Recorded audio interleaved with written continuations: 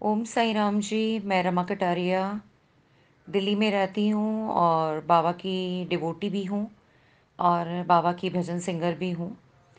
तो ये जो मैं अपना एक एक्सपीरियंस आप सबके साथ शेयर करने जा रही हूँ, ये 1998 की बात है। हम लोगों ने नया नया बाबा को मानना, जानना शुरू किया था क्योंकि उससे पहले मैं माता रानी को बहुत मानती थी। मानती आज भी हूँ माता रानी को, लेकिन अब मेरा झुकाव जो है वो बाबा की तरफ़ ज़्यादा है। तो मेरी मदर वेरी फ़र्स्ट टाइम जो है, एक ग्रुप चाह रहा था शिरडी तो मेरी मदर वेरी फ़र्स्ट टाइम उस ग्रुप के साथ शिरडी गई। और जाने लगी तो उनको लगा कि ओ हो पीछे से मेरे हस्बैंड मेरे बच्चे सब घर पे रहेंगे, अकेले होंगे।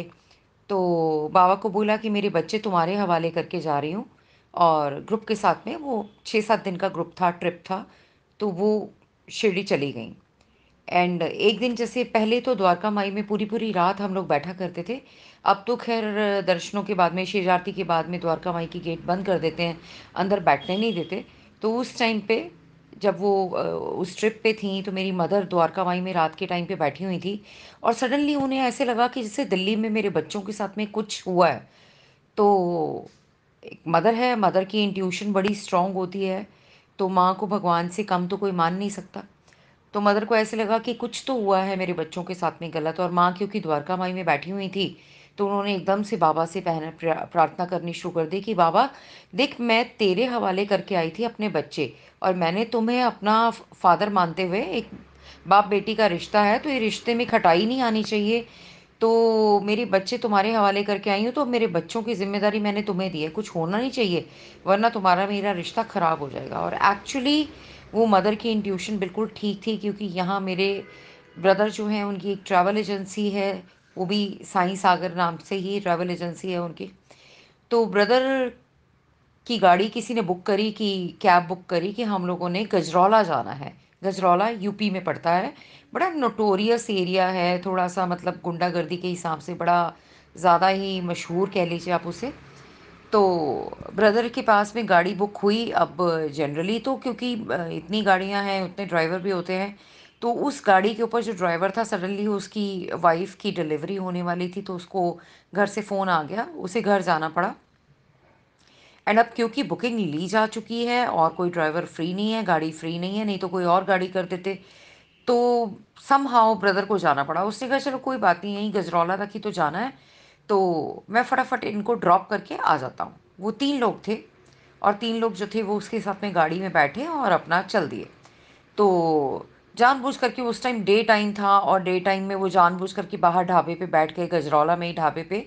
ऑन द रोड जो हाईवे पे ढाबे हैं, वहीं पे बैठ गए और वो कोशिश करने लगे कि थोड़ा और लेट हो जाए, थोड़ा और लेट हो जाए, थोड़ा अंधेरा हो जाए और अंधेरा करते करते जानबूझ करके उन लोगों ने ऐसा टाइम कर दिया कि अंधेरा हो गया और उनको बोला ब्रदर को कि चलो जी, अब, सर, ये गाड़ी जो है इधर कच्चे रास्ते पे ले लो।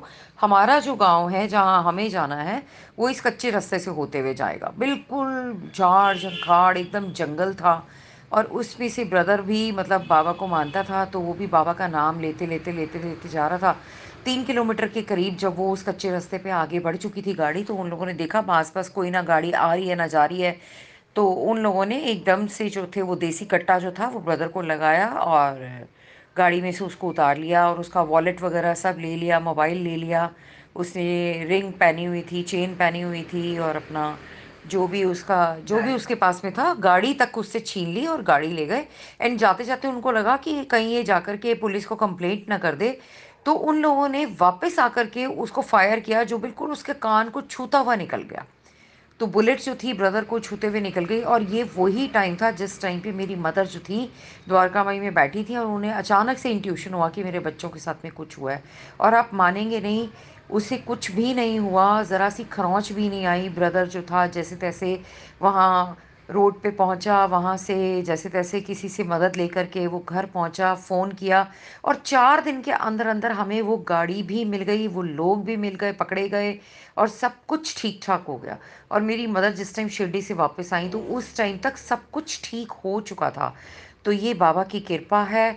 बाबा अपने बच्चों की बहुत ज़्यादा सुनते हैं और हम तो मतलब वो दिन क्या मतलब उस दिन के बाद से तो हमारा पूरा परिवार क्या, हमारी पूरी जितने भी नोन लोग हैं वो सब बाबा को मानते हैं और इतना ज़्यादा मानते हैं कि आज भी मेरे घर पे मेरे बाबा मेरे लिए मेरे नानू हैं तो हम घर में ये नहीं कहते कि वो बाबा हैं। वो मेरे लिए मेरे नानू हैं क्योंकि मेरी मम्मी ने उनके साथ में बाप बेटी का रिश्ता बनाया हुआ है। तो बाबा तो बहुत दयालु हैं। बहुत सारे मेरे पास में भी एक्सपीरियंस है। Being a Sai bhajan singer मेरे पास में लोग अपने अपने एक्सपीरियंसेस शेयर करते हैं मेरे साथ में। तो ज़रूर टाइम टू टाइम मैं आपके साथ में अपने एक्सपीरियंसेस शेयर करूँगी। तो आइए मिल करके बाबा के जो प्यारे बच्चे हैं, वो मिल के एक बारी मेरे साथ में चकारा लगाएँगे। बोलिए, सतगुरु साईनाथ महाराज की जय।